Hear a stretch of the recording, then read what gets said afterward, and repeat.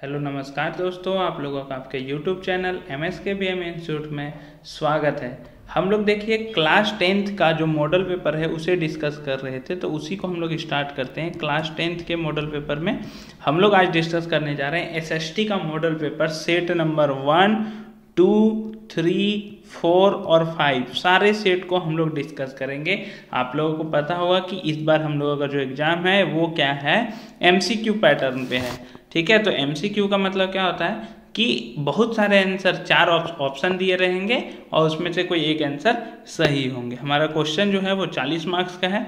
तो आपके पास चार सब्जेक्ट हैं हिस्ट्री जोग्राफी सिविक्स और इकोनॉमिक्स इतिहास, भूगोल, सामाजिक विज्ञान और अर्थशास्त्र। सारे चैप्टर से हम लोगों के पास कितने नंबर के क्वेश्चन आएँगे? दस दस मार्क्स के क्वेश्चन आएँगे। तो इस वीडियो में हम लोग हिस्ट्री का जितना भी पाँच सेट है हम लोगों का तो उसके सारे क्वेश्चन को डिस्कस करेंगे। मतलब हिस्ट्री का हम लोग पूरा दस मार्क्स अपने लिए पूरी तरह से क्या कर लेंगे? अच्छे से कर लेंगे ताकि हम लोगों को एग्ज़ाम में कोई प्रॉब्लम ना हो। मतलब टोटल हम लोग यहाँ पे अभी पचास क्वेश्चन ज़िक्र करेंगे, जो किससे रहेगा? हिस्ट्री से रहेगा। ठीक है? तो हम लोग बिना टाइम पास के एक एक करके सारे क्वेश्चन को डिस्कस करते हैं। अब बने रहिए लास्ट तक। आपको बहुत ही आसानी से समझ में आएगा सारे क्वेश्चन का आंसर तो देखिए, सबसे पहला क्वेश्चन सेट वन का है। फ्रांस की क्रांति कब हुई? तो फ्रांस की क्रांति हुई थी 14 जुलाई। 14 जुलाई सत्रह सौ उनासी को हुई थी। तो यदि हम बात करें 14 जुलाई सत्रह सौ नवासी तो देखिए 14 जुलाई सत्रह सौ नवासी कौन सा ऑप्शन है? घ नंबर ऑप्शन है। उस समय राजा कौन थे? तो यदि मैं याद दिला दूँ तो आपको याद होगा लुई सिक्सटीन, लुई सोलहवा। कौन थे? राजा लुई सोलहवा। ठीक है, दूसरा क्वेश्चन क्या पूछता है? सामाजिक उपबंध सोशल कॉन्ट्रैक्ट नामक पुस्तक के लेखक कौन थे? तो ये इसके जो लेखक हैं, वो हैं रूसो। कौन है? रूसो। रूसो कौन थे? फ्रांसीसी लेखक और दार्शनिक भी थे। रूसो कौन थे? एक फ्रांसीसी लेखक थे और दार्शनिक थे। अगला क्वेश्चन है, यंग इटली सोसाइटी की स्थापना किसने की? तो इसका आंसर है, जूसेफी मेतिसनी।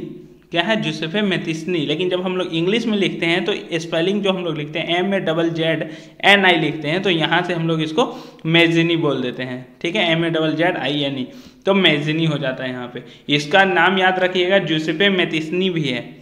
ठीक है, इसको हम लोग क्या बोलते हैं हिंदी में? ज्यूसेपी। देखिएगा, ज्यूसेपी मेतिसनी तो ये ऑप्शन भी रहेगा तो आप नहीं बोलिएगा कि ये ऑप्शन नहीं था। ज्यूसेपे मेतिसनी नाम है इसका। किसकी स्थापना किए थे? यंग इटली सोसाइटी की। किस सोसाइटी की स्थापना? यंग इटली सोसाइटी की। इटली का एकीकरण कब हुआ? मतलब इटली एक कब हुआ? तो इटली एक हुआ अठारह सौ इकसठ ईस्वी में। ठीक है? अठारह इकसठ ईस्वी में इटली एक हुआ और उस समय राजा किसे बनाया गया था? इमेनुअल द्वितीय को। किसे बनाया गया था? इमेनुअल देखिए, याद रखिएगा नाम इमेनुअल द्वितीय। ये भी क्वेश्चन पूछा जा सकता है आपसे।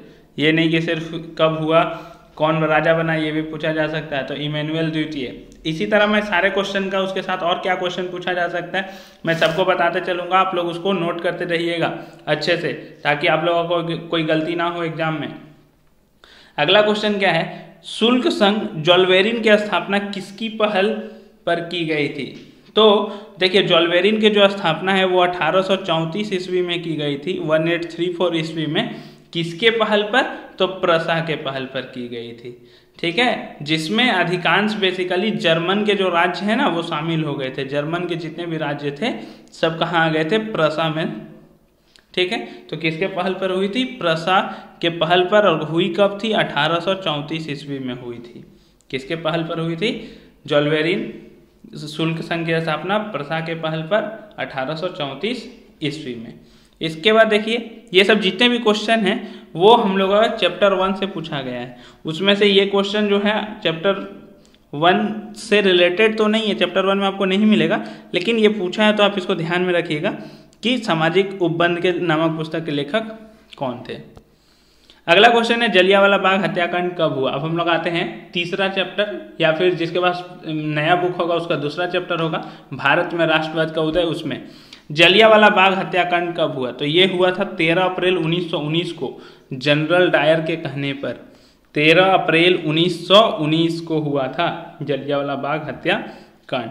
हिंद स्वराज नामक पुस्तक की रचना किसने की थी? तो हिंद स्वराज नामक पुस्तक की रचना किए थे महात्मा गांधी। कौन किए थे? महात्मा गांधी 1909 में। तो यहाँ पे एक चीज़ ध्यान में रखिएगा, हिंद स्वराज की जो स्थापना किए थे वो किए थे महात्मा गांधी 1909 ईस्वी में। अब हम लोग देखते हैं अगला क्वेश्चन तो देखिए, अगला क्वेश्चन क्या है? स्वराज हमारा जन्मसिद्ध अधिकार और इसे हम लेकर रहेंगे। यह किसने कहा था? तो ये कहे थे बाल गंगाधर तिलक। कौन कहे थे? बाल गंगाधर तिलक। अगला क्वेश्चन देखिए क्या है? ब्रिटिश सरकार ने कैसर ए हिंद की उपाधि से किसे सम्मानित किया? तो ब्रिटिश सरकार ने कैसर ए हिंद की उपाधि से सम्मानित किया था महात्मा गांधी को। किसको सम्मानित किया था? महात्मा गांधी को। सीमांत गांधी किसे कहा जाता था? सीमांत गांधी मतलब जो गांधी जी के फॉलोवर टाइप में थे तो उन्हें कहा गया अब्दुल गफ्फार खान को। ठीक है? अब्दुल गफ्फार होगा यहाँ पे। गफ्फार नहीं होगा, गफ्फार। अब्दुल गफ्फार खान को कहा गया था। तो ये था हम लोग का सेट वन का क्वेश्चन जो दस क्वेश्चन था हिस्ट्री से पूछा गया। अब हम लोग देखते हैं सेट टू का क्वेश्चन जो पूछा गया है हिस्ट्री से। देखिए, सत्रह सौ नवासी में फ्रांस की क्रांति के समय किसका शासन था? तो ये मैंने पहले सेट में बता दिया था, लुई सोलवा लुई सिक्सटीन। तो देखिए, यहाँ पे ग नंबर ऑप्शन है, लुई सोलवा अगला क्वेश्चन है, the spirit of law. The spirit of law नामक पुस्तक के लेखक कौन थे? तो इसके लेखक का नाम है मॉन्टेस्क्यू कौन है? मॉन्टेस्क्यू ये फ्रांस के उपन्यासकार थे और न्यायविद थे मतलब कानून के जानकार थे। ठीक है, द स्पिरिट ऑफ़ लॉ, जो पुस्तक थे उनके लेखक मॉन्टेस्क्यू थे। उसका यदि बात करें, या का कथन है, जब फ्रांस सीखता है तो बाकी यूरोप को सर्दी जुकाम हो जाता है। तो ये बात बोले थे मैटरनिक। कौन बोले थे? मैटरनिक। मैटरनिक होगा, का नहीं, मैटरनिक। क्योंकि उस समय फ्रांस जो था, वो बहुत डेवलप कर चुका था। तो उसके कारण क्या हो रहा था कि यदि फ्रांस में कोई प्रॉब्लम हो तो वो पूरे यूरोप में देखने को मिलता था। इसलिए ये वर्ड कहा गया था मैटरनिक के द्वारा कि जब फ्रांस सीख जाए तो बाकी यूरोप को सर्दी जुकाम हो जाता है। जर्मनी का एकीकरण कब हुआ? तो यदि इसका बात करें, जर्मनी का एकीकरण कब हुआ? तो जर्मनी का एकीकरण हुआ अठारह सौ इकहत्तर में। 18 जनवरी के समय जब वर्साई में सबको बुलाया गया था। ठीक है? 18 जनवरी 1871 को। राजा किसको बनाया गया था? सबसे पहले उसका नाम था विलियम प्रथम। तो इस समय राजा का भी नाम आप याद कर लीजिए, क्योंकि हो सकता है कि किसी क्वेश्चन में मतलब एग्ज़ाम में आपको राजा का भी नाम बोल, पूछ दे। तो इसके राजा कौन थे? विलियम प्रथम। फ्रेडरिक सारियो कौन थे? यदि आप हिस्ट्री का पहला चैप्टर में, पहला पेज में देखिएगा तो आपको दिखेगा, एक डायग्राम बनाया हुआ और उसके बारे में बताया गया। तो फ्रेडरिक सारियो क्या थे? एक फ्रांसीसी कलाकार थे मतलब जो चित्र बनाते थे। तो फ्रांसीसी क्या हो जाएगा? चित्रकार, फ्रांसीसी चित्रकार। ये एक डायग्राम बनाए थे आपको पहला पेज में, याद होगा, अठारह ईस्वी का, जिसमें सारे देश के लोग अपने हाथ में झंडा लिए खड़े थे, लाइन से एक एक करते हुए। अगला क्वेश्चन क्या पूछा है? गांधी जी दक्षिण अफ्रीका कब गए? गांधी जी दक्षिण अफ्रीका कब गए? तो गांधी जी दक्षिण अफ्रीका कब गए? तो इसका आंसर क्या होगा? गांधी जी दक्षिण अफ्रीका अठारह सौ तिरानवे ईस्वी में एक साल के कॉन्ट्रैक्ट पर गए थे, वहाँ पे वकालत करने। लेकिन वहाँ पे भी उन्हें क्या देखा? भेदभाव देखा। ठीक है? तो उसके लिए वहाँ पे भी उन्होंने सत्याग्रह की लड़ाई लड़ी। तो गांधी जी गए थे दक्षिण अफ्रीका अठारह सौ तिरानवे ईस्वी में एक साल के कॉन्ट्रैक्ट पर। चौरी चौरा में हिंसात्मक घटना कब हुई? तो देखिए चौरी चौरा में जो हिंसात्मक घटना हुई, वो हुई 5 फरवरी 1922 को 5 फरवरी 1922 को। इसमें क्या हुआ था? लगभग में 22 पुलिसकर्मी जो थे, उन्हें क्या कर दिया गया था? पुलिस स्टेशन में जला दिया गया था। ये हुआ इसलिए था क्योंकि जो जुलूस निकल रहा था, शांतिपूर्ण जुलूस, उस पर क्या किए थे अंग्रेज़ों ने? उस पर लाठीचार्ज, गोली स्टार्ट कर दिए थे। तो उससे बौखलाए जो लोग थे, उन्होंने क्या किया? पूरा पुलिस स्टेशन में ही आग लगा दिया। ठीक है?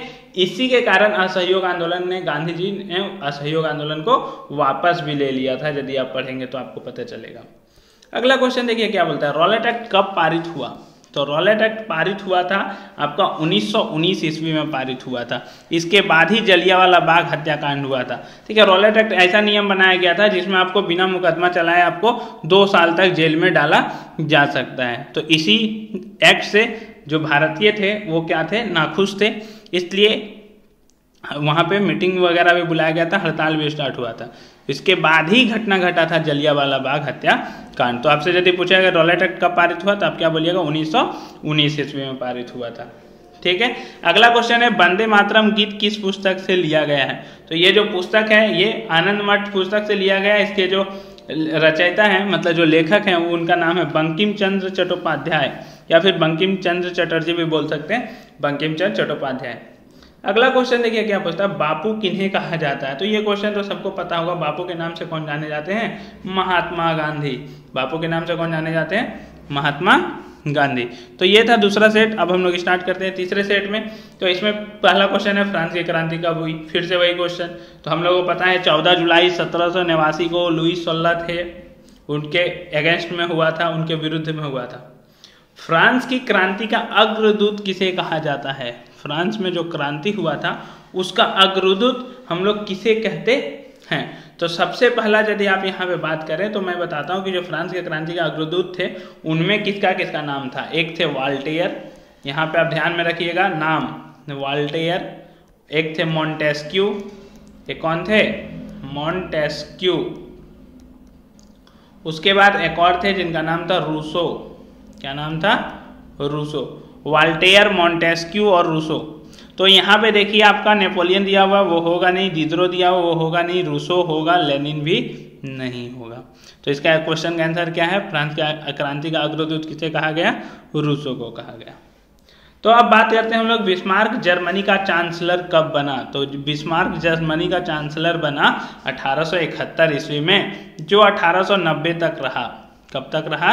यदि पूछेगा तो हम लोग कितना बोलेंगे? 1890 ईस्वी तक वो जर्मनी का चांसलर बन के रहा। इसका नाम था ऑटोमन बिस्मार्क इसका एक बहुत बड़ा योगदान है जर्मनी के एकीकरण में। जर्मनी के एकीकरण में क्या है? बहुत बड़ा योगदान है। उसके बाद क्वेश्चन बोलता है, पहले तुम मनुष्य हो, उसके बाद किसी देश के नागरिक या अन्य कुछ, या कथन किसका है? तो बेसिकली इस कथन को कहे थे मेतिस्नी ने। कौन कहे थे? मैथसनी ने कहे थे, पहले तुम मनुष्य उसके बाद किसी देश के नागरिक या अन्य कुछ। अब देखिए क्वेश्चन है, विश्वकोश नामक ग्रंथ की रचना किसने की? तो ये क्वेश्चन जो है, वो आपको अलग अलग तरह के आंसर दिखेगा यहाँ पे, वो ऑप्शन में नहीं दिया गया है, यदि आप देखेंगे तो। तो आप पाएँगे कि अलग अलग तरह के विश्व कोश विश्व कोश थे तो जिसे बंगाल में मतलब बंगला में नागेंद्र नाथ बसु ने लिखा था और उसे पहले लुइस सिक्सटीन लुइस मुडेरी नाम के एक आदमी थे। उन्होंने भी इसे लिखा था सोलह सौ चौहत्तर ईस्वी में। तो इस क्वेश्चन पे आप ध्यान रखिएगा कि विश्व कोश जो नामक पुस्तक ग्रंथ है, वो लुइस मुडेरी सोलह और एक और मैं नाम बता देता हूँ जो बंगला में लिखे थे, उनका नाम था नागेंद्र नाथ बसु। क्या नाम था?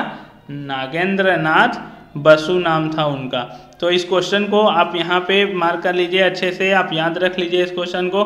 देखिए, ये क्वेश्चन जो है वो कहीं बुक में है भी नहीं तो आपको इसके लिए टेंशन लेने की भी ज़रूरत नहीं है। मुझे लगता है ये गलत से मिस प्रिंट हुआ तो आपको एग्ज़ाम में नहीं मिलेगा ये क्वेश्चन डिस्कवरी ऑफ़ इंडिया नामक पुस्तक के लेखक कौन है?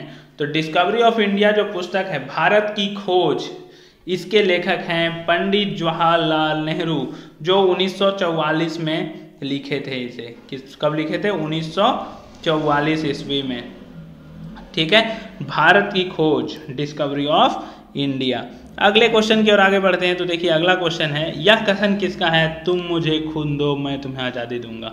तो इस कथन से तो आप लोग बहुत अच्छे तरह से परिचित होंगे। ये कहे थे सुभाष चंद्र बोस, नेताजी सुभाष चंद्र बोस, तुम मुझे खून दो, मैं तुम्हें आज़ादी दूँगा। बंगाल का विभाजन कब हुआ? बंगाल का विभाजन हुआ 1905 ईस्वी में। बंगाल का विभाजन कब हुआ? 1905 ईस्वी में। संथाल विद्रोह के नेता कौन थे? तो संथाल जो विद्रोह के जो नेता थे, वो थे सिद्धू और कान्हू। कौन थे? सिद्धू और कान्हू। इसमें और उनके साथ थे चाँद और भैरव भी थे। कौन कौन थे? चाँद और भैरव। ठीक है? सिद्धू, कानू, चाँद और भैरव 1955 ईस्वी में हुआ था। कब हुआ था? 1955 ईस्वी में। ठीक है, संथाल विद्रोह। उसके बाद अगला क्वेश्चन है, खिलाफत आंदोलन के प्रमुख नेता कौन थे? तो खिलाफत आंदोलन के जो प्रमुख नेता थे, मुस्लिम नेता, उनका नाम था मोहम्मद अली और शौकत अली। दोनों भाई, मौलाना मोहम्मद अली और शौकत अली, जो आपको ख नंबर ऑप्शन में दिख रहा है। तो इसका आंसर हुआ मोहम्मद अली और शौकत अली। अगले सेट की ओर आगे बढ़ते हैं तो देखिए अगला सेट फोर। उसमें बोला है, ऐसी सरकार या शासन व्यवस्था जिसकी सत्ता पर किसी प्रकार का कोई अंकुश नहीं होता, कहा जाता है। जिसके सत्ता पर कोई अंकुश नहीं है, उसे हम लोग क्या कहते हैं? निरंकुशवाद। उसे क्या कहते हैं हम लोग? निरंकुशवाद। ये भी आपको पहला चैप्टर का पहला पेज में मिलेगा इतिहास के बुक में। मतदान के अधिकार को क्या कहा जाता है? तो मतदान के अधिकार को कहा जाता है। मत का अधिकार मतलब मताधिकार। क्या कहा जाता है? मताधिकार। बस्तिल या फिर बेस्टिल किले का पतन कब हुआ? तो बेस्टिल किले का पतन उसी समय हुआ था जब लुइस 16 के अगेंस्ट में फ्रांस की क्रांति का स्टार्ट हुआ था 14 जुलाई सत्रह ईस्वी में। कब हुआ था? 14 जुलाई सत्रह ईस्वी में। पूरा एक भीड़ ने जेल के रूप में ये किला था, उस पर आक्रमण कर दिया था, पूरा एक भीड़ ने। 14 जुलाई सत्रह सौ नवासी ईस्वी अगला क्वेश्चन है 1815 में आयोजित वियना सम्मेलन की मेजबानी किसने की? तो 1815 में जो सम्मेलन आयोजित किया था वियना में, उसकी जो मेजबानी कर रहे थे, उनका नाम था ड्यूक मैटरनिक। कौन थे? ड्यूक मैटरनिक, जिन्होंने कहा था, जब फ्रांस छिकता है तो पूरा यूरोप में सर्दी जुकाम आ जाता। है। और इन्होंने जोसेफ मेतिसनी जो थे, उन्हें भी अपने समाज का सबसे बड़ा शत्रु बताया था, ये याद रखिएगा। मैटर्निक जो थे, वो चाहते थे कि जो पहले से सिस्टम है, वही रहे। तो इस संधि के बाद से, इस सम्मेलन के बाद में आपसे पूछेगा, वियना की संधि कब हुई? तो उसका भी आंसर अठारह होगा। उसके बाद से जो इन लोग का बुर्बो वंश था, जिस, जिसका राज चल रहा था पहले से, बुर्बो वंश का, वो उनका फिर से कब्जा आ गया। और फिर से बहुत सारे चीज़ें जो पहले की तरह थी, उस तरह से हो गई। अगला क्वेश्चन है लिब्रे क्या था? तो लिब्रे देखिए फ्रांस में यूज़ हो, यूज़ होने वाला है। जैसे इंडिया में क्या यूज़ होता है? रुपीज़ रुपया। ठीक है? अमेरिका में क्या यूज़ होता है? डॉलर यूएस डॉलर हम लोग बोलते हैं। उसी तरह लिब्रे जो है वो फ्रांस में यूज़ होने वाला मुद्रा था। तो हम लोग बोलेंगे फ्रांसीसी मुद्रा। फ्रांसीसी मुद्रा। अगले क्वेश्चन में है गांधी इरविन समझौता कब हुआ? तो गांधी और इरविन के बीच में समझौता हुआ था हम लोगों का 5 मार्च 1931 ईस्वी में। 1931 देखिए, ये क्वेश्चन है, थोड़ा जो कॉन्फ्लिक्टिंग लग रहा है, क्योंकि सब में 1931 दे दिया है तो आप रिजेक्ट नहीं कर सकते हो, सब मार्च में है। तो इसको आप अच्छे से याद रख लीजिए कि गांधी इरविन समझौता कब हुआ? 5 मार्च 1931 को। इसके बाद ही 23 मार्च को आपको याद होगा 23 मार्च 1931 को भगत सिंह को फांसी दी गई थी। इसको फांसी दी गई थी? भगत सिंह को। तो गांधी जी को पहली बार राष्ट्रपिता कहकर किसने संबोधित किया? तो गांधी जी को पहली बार राष्ट्रपिता कहकर संबोधित किए थे हमारे नेताजी सुभाष चंद्र बोस ने। ठीक है? सुभाष चंद्र बोस। अगला क्वेश्चन गीतांजलि किसकी रचना है? तो गीतांजलि के जो लेखक हैं, जिन्होंने हमारे राष्ट्र गान को भी लिखा है, जिनका नाम है रविंद्रनाथ टैगोर। ठीक है? Rabindranath Tagore. Hindustan socialist republican army की स्थापना किसने की? देखिए, आर्मी का नाम क्या है? पार्टी का नाम क्या है? Hindustan socialist republican army. तो इसके जो संस्थापक थे, उनका नाम था भगत सिंह। कौन थे? भगत सिंह। भारतीय संविधान कब बनकर तैयार हुआ? तो भारतीय संविधान यदि हम लोग बात करें तो बनकर तैयार हुआ हम लोगों का 26 नवंबर उन्नीस सौ उनचास को, लेकिन इसे लागू कब किया गया? 26 जनवरी 1950 को। ध्यान रखिएगा 26 जनवरी 1950 को लागू किया गया था, बनकर तैयार हो गया था 26 नवंबर उन्नीस सौ उनचास तक। ठीक है? ये था हम लोग सेट फोर का क्वेश्चन और एक ही सेट बचा हुआ है सेट फाइव और आप आसानी से सारे मॉडल सेट का क्वेश्चन स्वतंत्रता, समानता एवं बंधुत्व का नारा, किस क्रांति की देन है? सेट पाँच में देखिए, इस क्वेश्चन का आंसर है, फ्रांसीसी क्रांति। कौन सा क्रांति? फ्रांसीसी क्रांति। ठीक है, आप लोग फ्रांसीसी क्रांति में देखे होंगे कि हम लोग उसके लिए लड़ाई लड़ रहे थे, स्वतंत्रता का, समानता का लड़ाई लड़ रहे थे। इसलिए यदि आपसे कोई पूछता है कि किस क्रांति की देन है तो आप लोग क्या बोलिएगा? फ्रांसीसी क्रांति की देन है। ठीक है? बिस्मार्क जर्मनी का प्रथम चांसलर कब बना? ये क्वेश्चन फिर से आया है। आप याद कीजिए, अठारह ईस्वी था इस क्वेश्चन का आंसर जो 1890 तक था जर्मनी का चांसलर। मनुष्य स्वतंत्र पैदा हुआ है, किंतु वह सर्वत्र बंधनों में जकड़ा हुआ है। यह कथन किस दार्शनिक का है? तो इस कथन को कहने वाले जो दार्शनिक थे, उनका नाम है रूसो। जो फ्रांसीसी बहुत बड़े दार्शनिक थे। ठीक है? अगला क्वेश्चन है, किसने कल्पनादर्श यूटोपिया में एक आदर्श समाज की कल्पना की गई है? तो किसके कल्पनादर्श में? तो आपको पहला जो मतलब चैप्टर है हिस्ट्री का, उसमें पहला पेज में आपको दिखेगा एक डायग्राम जिसे बनाए थे फ्रेडरिक सरयू ने। उन्होंने कल्पना किया था। तो इसका क्वेश्चन का आंसर क्या होगा? फ्रेडरिक सरयू ने कल्पना किया था एक आदर्श समाज की। उसके बाद आते हैं हम लोग अगले क्वेश्चन की ओर। यंग इटली की स्थापना किसने की? तो फिर से वही क्वेश्चन है। क्या होगा इसका आंसर जोसेफ मेथिसनी इस क्वेश्चन के अंदर क्या होगा? जोसेफ मेथिसनी असहयोग आंदोलन की समाप्ति किस घटना से हुई? तो असहयोग आंदोलन की जो समाप्ति थी, वो हुई चौरी चौरा हिंसात्मक कांड। कब हुआ था? 1922 ईस्वी में हुआ था। ठीक है? 1922 ईस्वी में। याद रखिएगा आप लोग कि कब हुआ था ये क्रांति। 5 फरवरी 1922 ईस्वी में। ये पहले भी पूछा था इस अगले सेट में। अगले क्वेश्चन की ओर आगे बढ़ते हैं। भारत छोड़ो आंदोलन की शुरुआत कब हुई? तो भारत छोड़ो आंदोलन की शुरुआत हुई थी 8 अगस्त 1942 से कब हुई थी? 8 अगस्त 1942 से भारत छोड़ो आंदोलन की शुरुआत हुई थी। ठीक है? गदर पार्टी की स्थापना किसने की? तो गदर पार्टी की जो स्थापना किए थे, वो जनरली देखिए, किए थे सरदार सोहन सिंह भाकना, ठीक है? सरदार सोहन सिंह भाकना। लेकिन यहाँ पे यदि आप ध्यान दीजिएगा तो उसके जो उनके साथ जो थे, सरदार सोहन सिंह भाकना के साथ थे, उनका नाम था लाला हरदयाल। तो हम लोग क्या बोलेंगे इस क्वेश्चन के आंसर गदर पार्टी की स्थापना जो किए थे, वो लाला हरदयाल किए थे। बाद में भगत सिंह भी इस पार्टी से जुड़े थे। लेकिन इस क्वेश्चन का सही आंसर है, लाला हरदयाल। स्वदेशी आंदोलन की प्रेरणा से भारत माता की छवि को किसने चित्रित किया? तो स्वदेशी आंदोलन की प्रेरणा से जिन्होंने भारत माता की छवि को चित्रित किया, उनका नाम है अवनीन्द्रनाथ टैगोर। क्या नाम है? अवनीन्द्रनाथ टैगोर। खुदाई खिदमत गर की स्थापना किसने की? किसकी स्थापना? खुदाई खिदमत गर। तो खुदाई खिदमत गर की स्थापना किए अब्दुल गफ्फार खान ने।